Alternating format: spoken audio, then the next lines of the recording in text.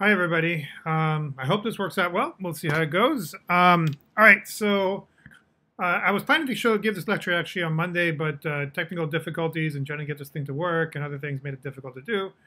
Um, so I'm giving it a try today.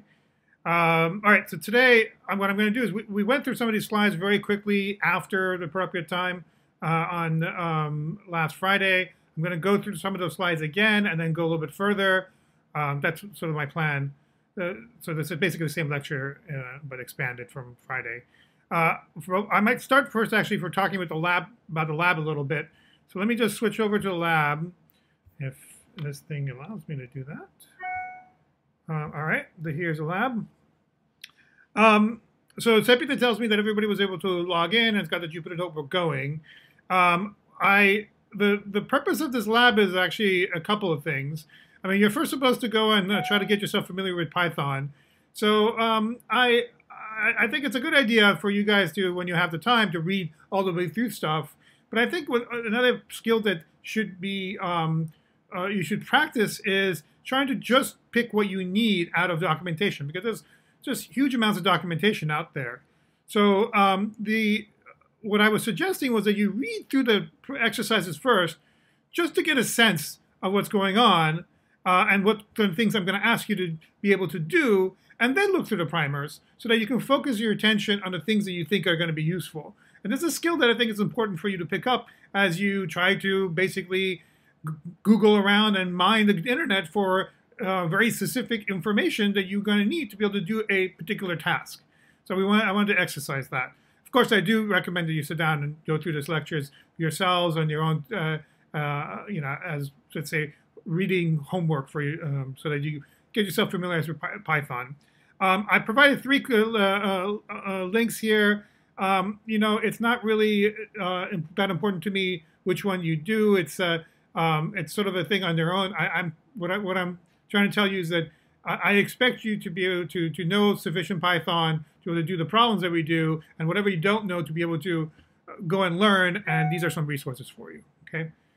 Um, all right. So then let's uh, if you look at the exercises themselves, the the way that these are structured, where um, the really the, the goal here is I'm making you do a bunch of things in like pure Python. So some basic data manipulations which actually you're going to end up doing all the time in NumPy. But I want, and but when you do it NumPy, you give it the data and you say do do this operation to it, and so it'll like you say calculate the mean. So it'll run a loop over the data and go calculate the mean and give it back to you, but you won't see that calculation. And I, what I wanted you to, to be able to understand is, uh, you know, how that calculation is done. So I just have having you do a few calculations by hand the hard way and slow because this is going to be in Python, um, so that you get a some uh, you know an idea of how these things could be working. You're not going to have to understand the details of every single uh, operation that you're going to apply. Well, most of them are actually primitives, and you probably should understand pretty clearly what is happening. But maybe you won't understand the implementation, and that's irrelevant. But you should be able to imagine how it will be implemented and what is being done. And this is so that's what I'm trying to exercise here. And, and so at the same time, you're getting a little bit of exposure to the syntax of Python if you're familiar with it and all that. Okay, so um, the I, I, guess the whole lab is sort of a homework, but the, the end of this lab is is sort of the uh, the most uh, is you know the, the thing that I intended for you to do at home. And what we're doing here is actually the lab basically you generate some random data, you store it in a Python list, you calculate you know some basic things about it, um, then you sort of write a function to uh, and uses some mechanism that I described to be able to count different things, like count how many numbers are above zero or above one half or less than, uh, just a, a, way of doing that. Uh, so you'll implement that, and then you'll you know answer some questions about that. And so, with, so we, the data that we generated was in a flat distribution, uh, meaning that we generated numbers between zero and one, and so any number in between there were equally probable to appear um, what then what we do next is for the homework is to try to uh, write a function that would generate a different distribution. And I give you a function called the Gaussian, uh, which perhaps you should be familiar. It's a normal distribution, but will, we will certainly talk about a lot um, to to you know demonstrate that you can do this. And the algorithm is a pretty standard algorithm for for generating uh, distributions. Um, hopefully, this is clear, but I will take time on Friday to assess how much of this you guys have been able to do, both from a technical perspective and also from the comprehension. If it's at the maybe uh, you need more understanding or details of what this data formats mean. And so, um, you know, give it your best shot for Friday. I want to see is how far you can get. Talk to each other and help each other out too. And then let me see where you guys are. Uh, don't worry about the grade and whatever. Let's make this a, an honest investment uh, uh, assessment of how you're doing. But please, I want you to also, um, you know, really give it a shot. Don't, uh, um, you know, you go. You should struggle a little bit and try to get through it and push yourself to get as far as you can. Because okay, all right. So let's come back to the actual um, uh, um, lecture. Oh, I guess I will probably also post lab number two. My understanding is most of you didn't get very far on lab number one anyway, so spend your time today doing that and talking among yourselves and help each other out, then work at home and so on. Uh, but if you do get through it, I'll put I'll put lab number two up, uh, and, and, at least it started on lab number two. Okay, let's go back to, to this. All right, so that's the plan. So um, right, so we're going to talk about uh, Unix and NumPy and Python and all that stuff. So I went through the stuff before, but I just you know um, I think actually Ryan was who's the one person who probably was the least experienced, maybe benefit from this. So let me just go through it again. So bear with me. I'm trying to be. This is very simple stuff, but I just want to make sure that everybody's on the same page because not everybody's a computer science major. So just defining some basic things. The CPU, that's the processor that sits inside the computer that does the instructions, right? The RAM is a working memory, so typically the CPU is operating uh, on data that's in RAM. It's actually the instructions that is instru- that is processing is also in RAM. Um, there's a disk, which is uh, the long-term storage, right? So you typically what you do is you will load programs and data from the disk into RAM, and then you would execute on them. And um, in addition to the CPU, some machines, especially the case of us, will have co-processors. These are other processors which we can ship data into their local memory and have those processors operate on that data, and then we'll ship back. The operating system, um, you know, you guys are familiar with iOS or Windows and Mac OS and so on, um, and Linux. This is basically uh, all the fundamental um, um, software that enables you to interact with the hardware, with your computer, and with you, with in terms of graphic user interface. All that stuff comes uh, as the operating system. Um, the file system is the basically the um, you know when you file status, you know, you're storing data on disk. The disk does stores um, bits. You want to organize things so the file system is a way of having a table of saying file names, and that points to locations which have been mapped out on the disk, which correspond to uh, uh, where you can you know put data in, and you can find that data and those type of things. Um, and so, I mean, not that you should know, uh, but uh, uh, but uh, the different types of file systems for us, but there are different types of file systems, obviously. Um, the the network, I mean, everybody knows about the internet, but the the network is, I mean, we talk about the network as a neural network. We also have, you know, we have to also have this concept of network in terms of the internet, right? And so um, the the important fact here is that, especially for you guys who are beginning, you have to realize is that um, those of you who have no experience, um, the what we're doing and the way that we're working here is that I've set up a set of cluster, a cluster with computers, and you guys are going to remotely uh, connect to those computers and then work on those computers. Uh, uh, and so the processing is not happening on your machine. We have one secure way of connecting between machines, which is called SSH, a secure shell, which allows you to put an encrypted tunnel between your machine and the machine that you're talking to. And that's the only pipe that we have to be able to communicate. There, the typical way that we do that is through a um, command line interface, a shell, which, which you'll connect from your computer to another computer, and and you basically can type in commands which the computer will respond to.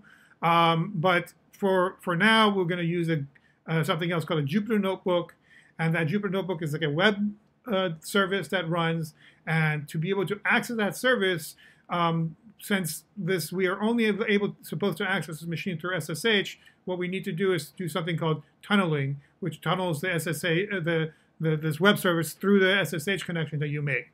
And you guys all did that on on on, on the uh, the previous to get started on the previous lab. And you'll have to do that every single time when you want to start working to make the SSH tunnel, and then you connect to a web server, which is basically connected a port on your machine to a to a port on the uh, web server um, that I'm running, and uh, through this SSH tunnel. Okay. So quickly, the shell and GUI. The shell is the um, is the program that runs when you are you know, uh, when you connect to the machine with SSH or when you open up a, uh, a, terminal window, this is a program that takes commands and typically does file operations and then runs other, uh, uh, you can use it to start other programs. Uh, GUI is uh, your operating system GUI is effectively doing the same thing. It just does it with a graphical interface instead of taking you know commands line by line. And a concept that's important to understand is environment variables. Basically, your system has a table uh, of um, you know a name and values, which it uses to be able to uh, understand, uh, you know, communicate to programs different information. And typically, what that what you communicate in Unix is the locations of libraries and and and the and programs. So you set a in this table uh, you know some things. For example, an environment we'll call path, which is a list of directories that you should look for whenever you're looking for programs or something we call LD library path, which is similar except for libraries, so on. Um, uh, so this is something that typically we, before using our programs, we need to start, uh, we will do uh, some setup, which will set environment variables correctly for whatever program we want to use, okay? Um, there is, um, I mean, another important uh, uh, thing then is the you know the programs themselves. These typically will say they're an executable binary. This is a file that if I what you'd say is in the shell go and it'll you know uh, or run this thing and it'll copy that thing from disk into memory and start in the first instruction and start going. Uh, and this is uh, an executable is essentially uh, the, modern version, which is an application. An application is more these days, uh, you know, you think about a GUI and those type of things, but that's effectively an executable as an application. And finally, there's the programming languages, which are the languages in which we write these uh, programs in. And there's two types. There are the type of programming languages that are uh, compiled. So you write some instructions in, in text. You compile those into uh, machine language instructions. And then you may have your text of uh, code may have referred to other functions that were co otherwise compiled, so other information stored in libraries. And the linker, what it'll do is it'll link your machine, you know, your compiled code to other compiled codes so that when you execute them, they will, you know, everything would work. Uh, and but in, in contrast, there's interpreted languages where there you have either a prompt or it's going through a file. What's effectively happening is that is it is reading the file as it's going and um, depending on what the file is telling it to do, is performing operations, which is a, a different way of doing uh, computing. Um, Unix, um, so you are probably familiar with Unix if you have Mac OS, or if you ran Linux before. Windows is a little bit different.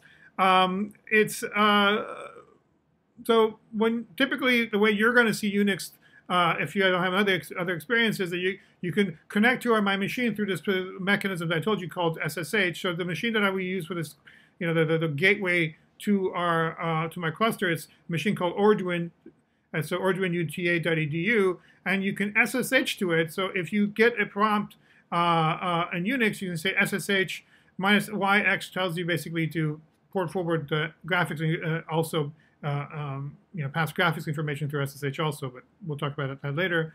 Uh, and then name the, uh, the, the, the machine, and this will make a connection between your machine and my machine, and in that connection, it will run a shell, uh, and that shell is basically a, the program that I described where you type in commands and things will happen, right?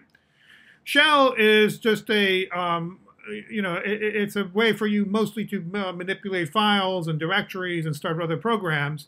So you should be familiar with commands that you can type, uh, things like cds change directory, ls. So you you know you understand that um, you know within a file system you have a directory structure uh, where you know you have folders or directories where you store uh, files in, so you can organize yourself.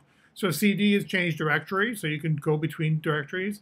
LS is list, CP is copy, MV is move, RM is is the way you delete things. MKdir is how you make new directories. And so there's a bunch of there are a lot of Unix commands. It's not necessary immediately for you to know this, but eventually you're going to need to know this stuff. Uh, and these, uh, so just to, the, these commands, um, some of these are actually captured by the shell. So the shell, when you say cd, it, it just understands, oh, you're changing where you want to you know, look in the file system. Other ones are programs, like ls and cpu actually are programs, which when you say ls, what the shell does is it looks to, uh, uh, uh, it, it, it, it see, tries to see if it knows what ls is. It doesn't because it's not a built-in program. Then it looks in the list of directories you put in your path environment variable to see if there's a, is a file called ls in there. And if there is, it tries to run that file. And if there isn't anything called ls, it'll stop. And that's how the how the uh, running uh, programs run uh, works. You just set a name of the program and enter, and it'll run it, and it'll search in your current directory and this list of directories that uh, that are specified in path to look for the um, you know the that name before running it. So things actually like ls, cp, mv, rm, they're all uh, um, are actually programs that do things like create files and move files and those things. Uh, you can for any of these commands and in Unix in general, if you want to know how to use a command, usually you can just say man to get the manual pages. So you can say on the prompt man ls, it'll give you uh, the manual page for ls, so how to use it and how, what it works. Okay. We talked about environment variables. Environment variables here, for example, I, am setting the path. So this is the, the, the, the list of di uh, directories that I want to um, to uh, um, go through when, when I say you know, something, uh, it'll say, uh, so this export command is how I set them. So I say, set the path to be, here's this directory that I want to look at, and then I put a colon and I say dollar path. So I already have a path, so dollar path will expand to the list of things already there, and what I'm doing is I'm putting something else in front of it and then sending it back to path. Okay? This is how you extend your path. Now, uh, usually you're going to have to do these things like this before you get started, we'll give you instructions on how to do it. But a lot of times you can just you can write these instructions. You may be several of these environment variables you have to set. You can write it into a file and then you can source it. So a lot of times we'll provide you a setups.sh file, which would be a file that you source, and it'll just set these environment variables for you instead of you having to type it. Okay. Now, a lot of the stuff we'll sidestep because of Jupyter Notebooks, but I just want you to know and start looking around. This is how things get set up, and if you start installing things on your machine and so on, you should have some basic understanding.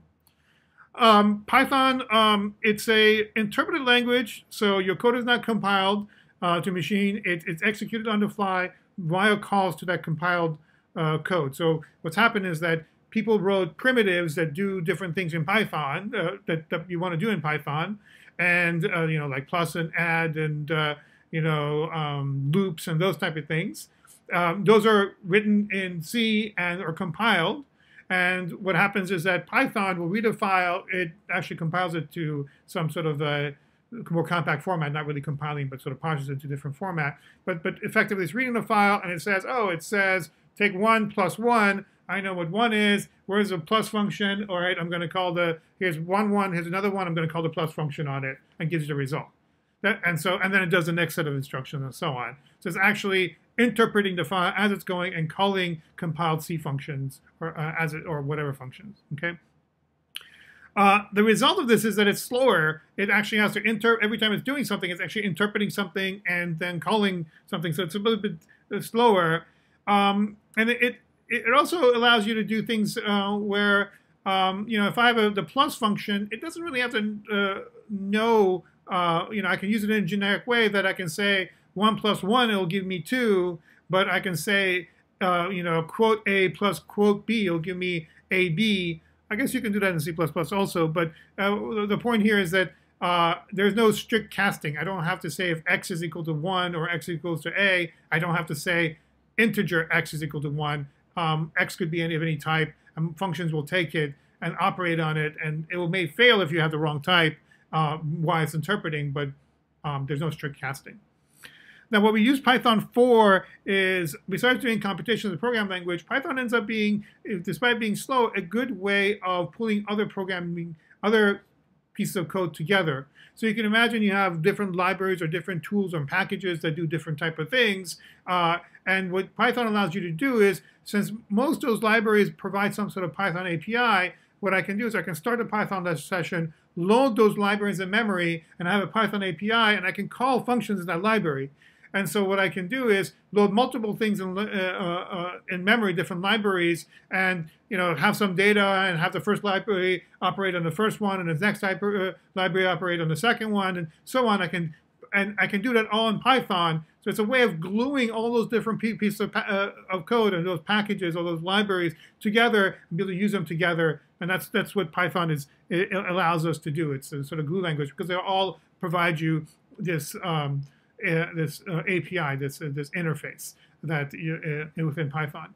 And the point here is that the, the heavy lifting of the computations will be happening in the C code in the, in the libraries, but Python is just allowing you to say, do this and then do that and take the results of this and stick it in, in that and do this other stuff.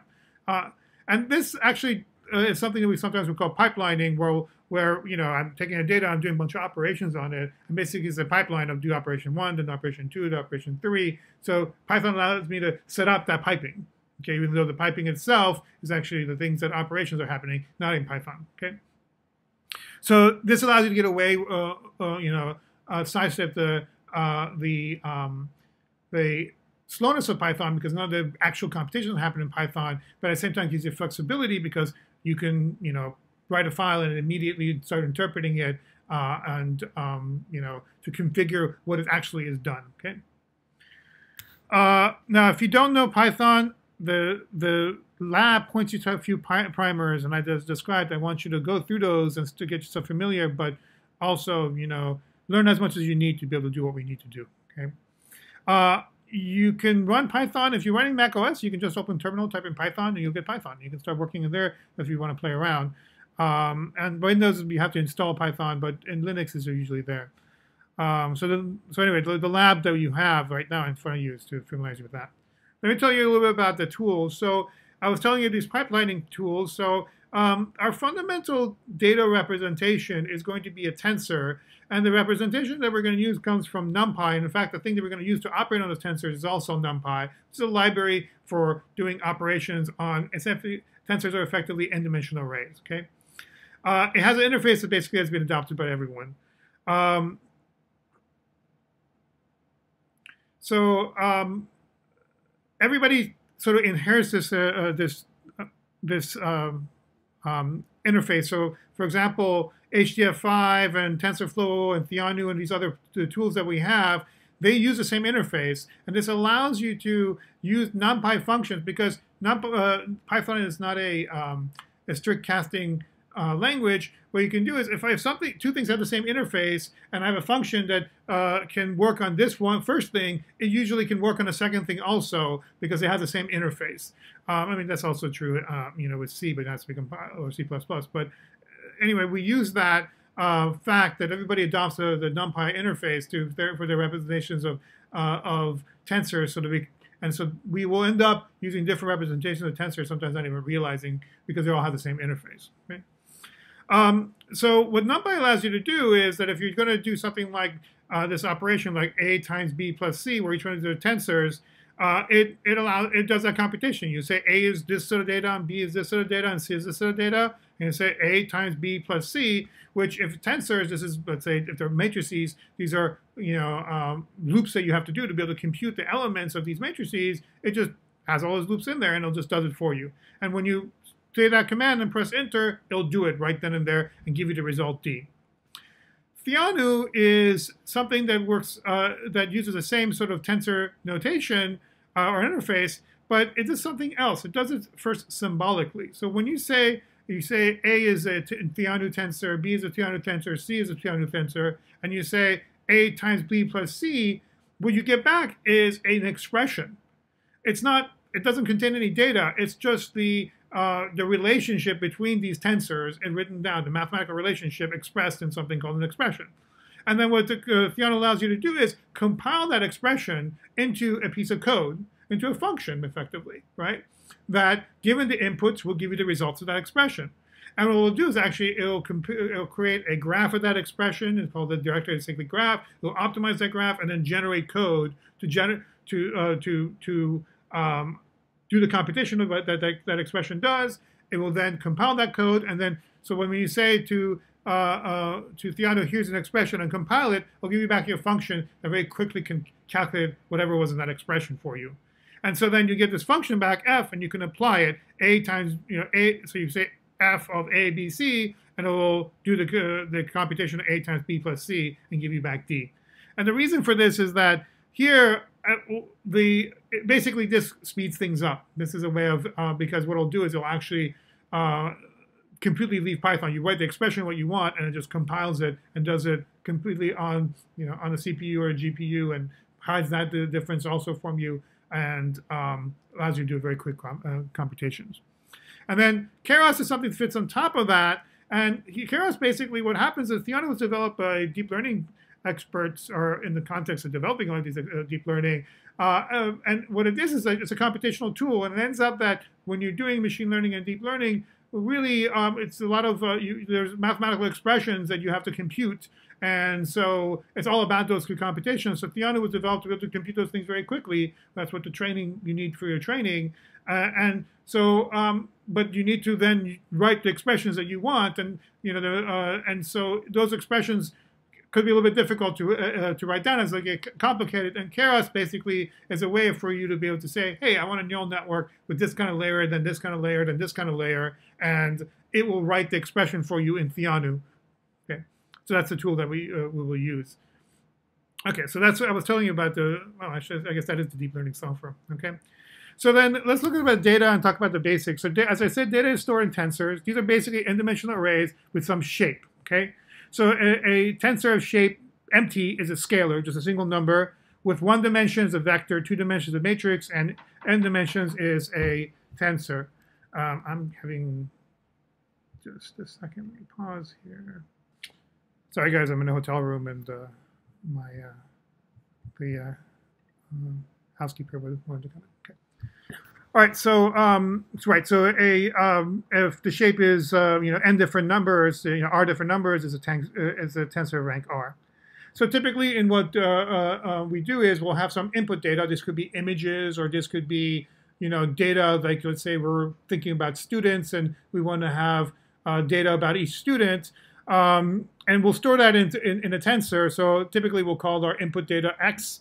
And, and this could be arbitrary shape, but typically if it's we're computing data, what the data is is n examples of something. So for example, n different pictures or n different data for students. Um, so uh, you know, student one, student two. So the first index typically goes through the the students. So student one should be you know uh, you know index one is the first student, index two is the second student, and so on, right? And then the secondary index, if it's like, say, it's student information, would be things like the actual index for the information. So, for example, here I'm building a tensor. The first one, first, uh, uh, you know, row, the first student, second row, second student, third student, and then the columns correspond to, for example, the age, if they're male or female, or what year they are, if they're undergraduate, graduate, and what their major is, for example. Okay, and I've encoded some of the information of uh, you know, as sort of uh, indices. So, for example, um, you know, there's an index corresponding to what major you're in. Actually, this is correct. Wrong. This should be, for example, three. Oops, sorry. I should correct that. Okay, just to give you an idea of the data, right? So if I say x of zero, I'll get a data. This is first student's data, and if I say x zero three or zero comma three, I'll get um, um, the wrong thing, actually. I need to correct this, but I would get the you know zero, and then the third element would be that. Okay.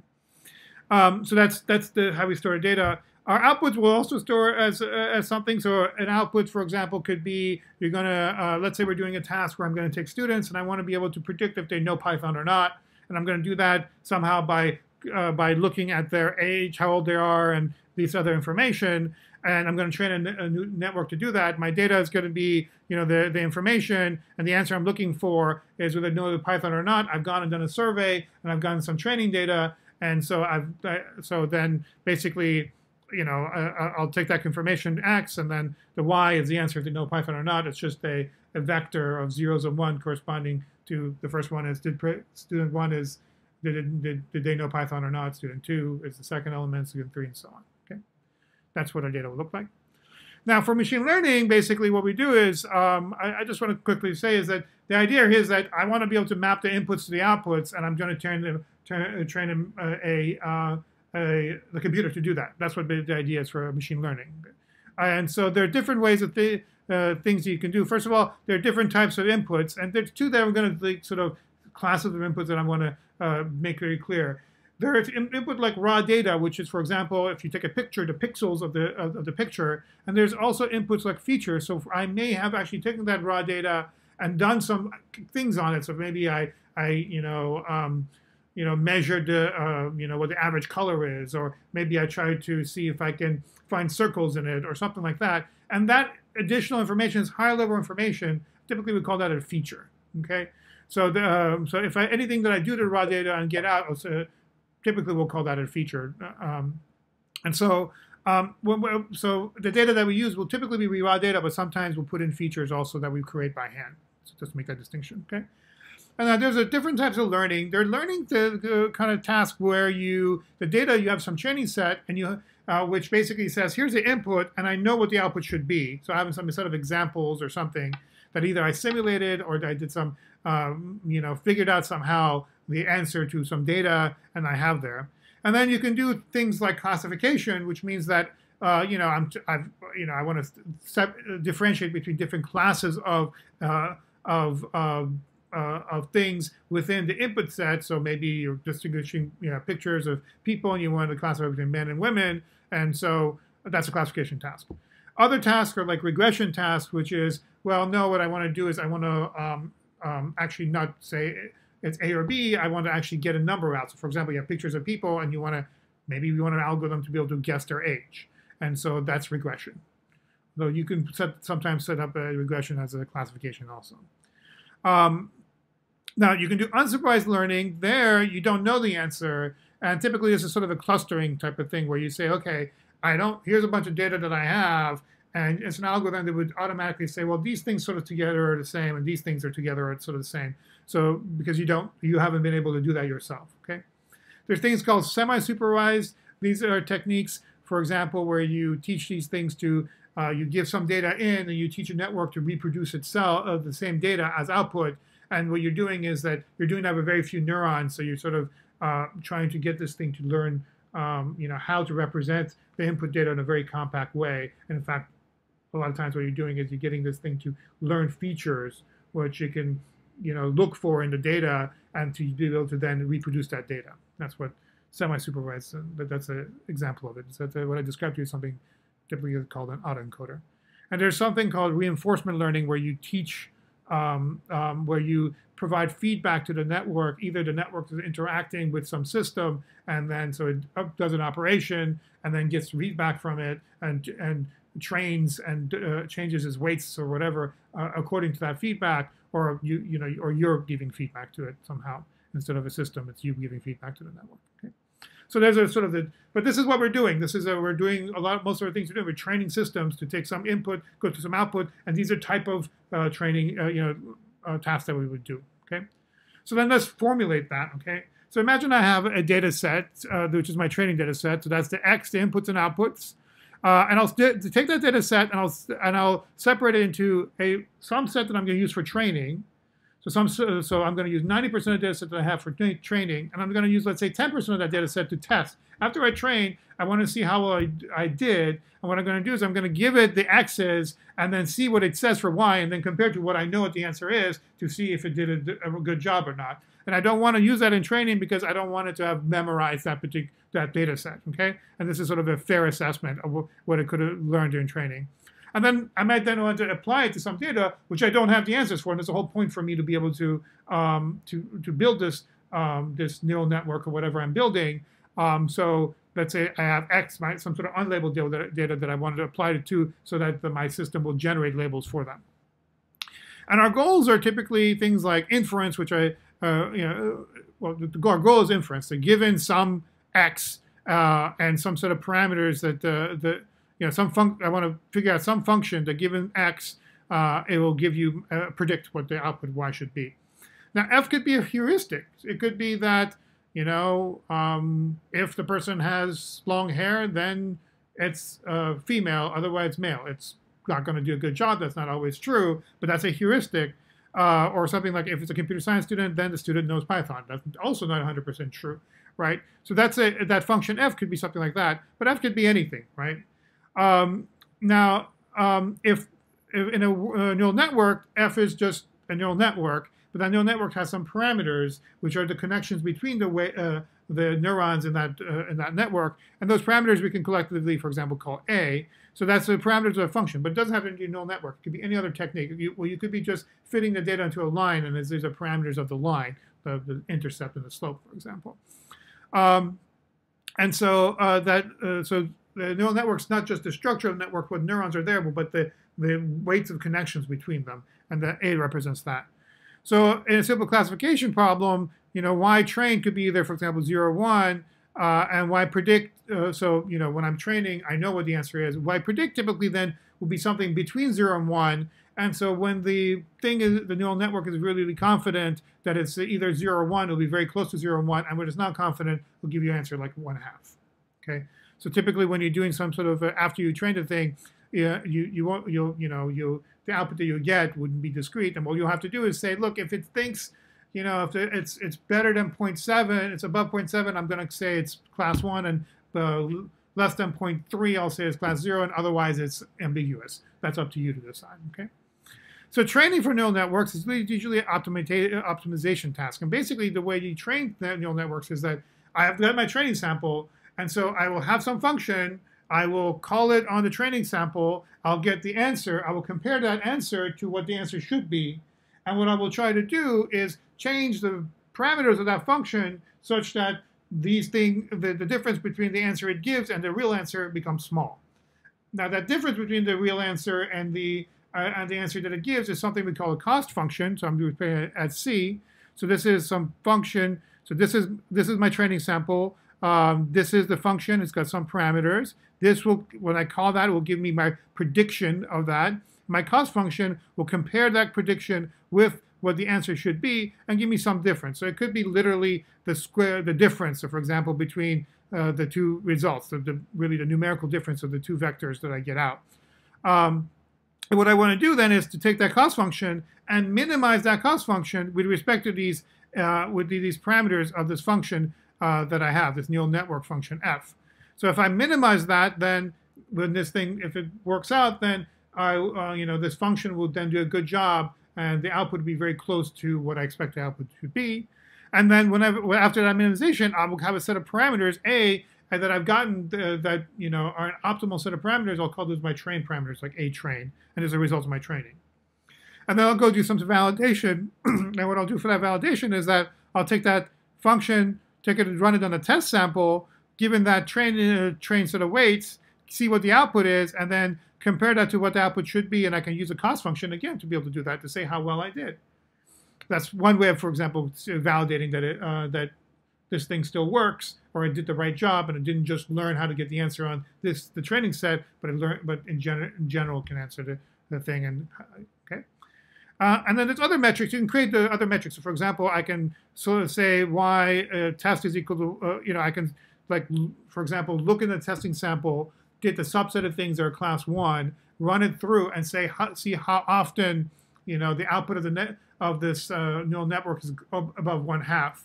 So then that'll tell, and I'll say that's, I'm going to consider if it's above one half, for example, that belongs to class one. And so what I'll get is that, oh, well, 90% of the time that I give it a class one thing, it correctly identifies it as class one.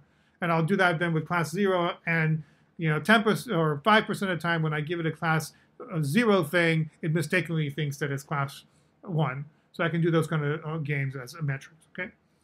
Um, and then my inference is just this step where I don't take the data that I don't know and we give the train sample, apply my neural network to it, and, uh, given the trained uh, network and get a prediction. Okay. All right, so that's uh, so um, the reason I bring this up is because these are the type of computations we're going to be doing, and fundamentally, this is the and so I want you to understand why you're you know learning NumPy and all this stuff is because you're going to effectively be writing these expressions, okay, and that's what neural network training and application actually are. So artificial neural networks. So basically, um, the the implementation of artificial neural network is very simple if you imagine that I have a bunch of uh, inputs, so my uh, let's say my my input vector is x, right? So the, the, the rows correspond to examples and the columns correspond to uh, whatever parameters I, that, I, uh, that I have for each example, um, then um, I can write a neural network as just a matrix operation of x times w uh, and then plus some bias uh, b, where w is my weight matrix, which is one of the things that I'm going to try to optimize, right? And b is some bias matrix. So uh, my parameters that I'm going to, you know, that I'm optimizing are the w's and b's, the whatever is in there. And so if this matrix, let's say that, that I have n examples, my matrix will be n by m. Uh, and so what will happen is I'm going to do the multiplication. If I, I will get a uh, m outputs. So there was n inputs, that was the size of x, and there's m outputs, and that's the output. And basically that represents, um, you know, n inputs coming in and getting connected to m uh, um, neurons. Okay.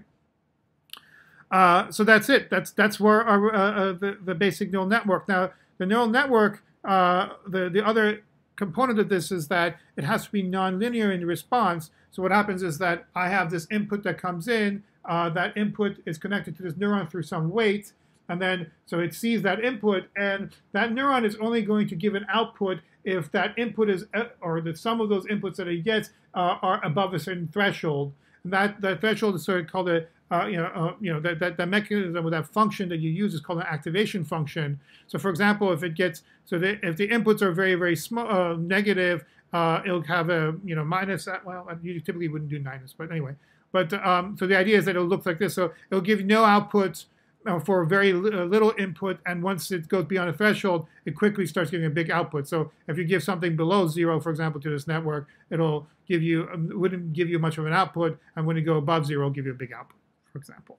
And that's what the that basically is what's mimicking uh, in a crude way what how neurons work in our in our brain. And so that's one layer of a neural network. And basically, if you want to build multiple layer neural network, you do this once, and then you take the output of that and put and do it again into another one, into another one, into another one. You just stack these on top of each other. And effectively, what you're doing is you're getting a bunch of weights, bunch of inputs at each layer coming in, uh, getting sort of uh, summed up with respect to rates in, uh, for, uh, into each neuron, and then you get some output uh, um, out of that neuron, then you have many, many neurons. That's effectively what this equation says. We're going to do this much more carefully, actually, on next week, okay? And the, okay. All right, uh, and then so then the optimization task is to take this function, uh, that this cost function, and to and minimize it. And that, what that means is that so this cost function, which is the difference between what the neural network is predicting, and when I know what the answer should be, I want to be minimum, as a function of some parameters I'm calling alpha here. Uh, and um, I need to minimize this function with respect to alpha. And then we do it as something called gradient descent. And this is something you should have sort of, it's Newton's method is what you, sh you should have learned it in calculus. Basically, what you can do is, it's the same thing uh, as if you are, for example, in a topological map or, you know, standing on a mountain and you want to get to the top of the mountain or bottom. If you want to get to the top of a mountain, what you do is you calculate there's a function that represents your altitude with respect to x and y position uh, on, on the map. And you, you take the gradient, which is the derivative in, in each of the directions, and whichever direction that derivative points is a direction of maximal change. So if you go in that direction, you go, you'll go to the, the, the peak of the, uh, of the mountain you're standing on. And if you and go in the direction, the opposite direction, you'll go to the valley. And so that's basically what gradient descent is, is that you, you stand somewhere, you calculate the derivative, take a step in the derivative, and then you calculate again the derivative at another step, and you take steps along derivative at every single point, and following it down all the way to the valley or to the peak. And so what we want to do is this this this this function, this this uh, map now is actually the cost function, and this is not just two dimensions, but whatever dimensionality this has. You basically you're at some point in the space you calculate a derivative, uh, uh, you know, of the cost function um, with respect to that. You you, you move in, in, in the direction that would maximally minimize that or reduce the, the value of that cost function, following that down all the way into the minimum of that cost function if you can. There's no unique minimum actually for, for neural networks, but there's a lots of, but this still works amazingly. Okay, so that's it. So uh, so this is actually numerically. This is. This is what. I'm. So this is, for example, an example of, of walking down some other topological sort of uh, topographical sort of scenario. And um, you do this by um, uh, iterative process. So I have some, so I'm standing somewhere. So I have my parameters alpha, which is my coordinates right now in this map. So my x and y or whatever parameters the, of the network. And so to figure out the next set, I'll calculate the derivative. So this is the cost function with respect to, this should be alpha i actually. Uh, I calculate the gradient. That gives me the vector to go in that direction I want to go. I'll take a, a step of size epsilon uh, in the opposite direction because I want to minimize uh, of that, and that gives me the next set of parameters. That's what that says. Okay. Um, so I think I've gone probably long enough, so I'm going to stop uh, so you guys have a little time to work. Uh, I will get on, on, on this stuff to, uh, the next time. Um, all right. Thank you very much, guys. Um, I So if there's any time left in this class, uh, I would encourage you to continue with the lab um, from last time, and I will make an assessment on Friday where you guys are. Okay? Thank you very much.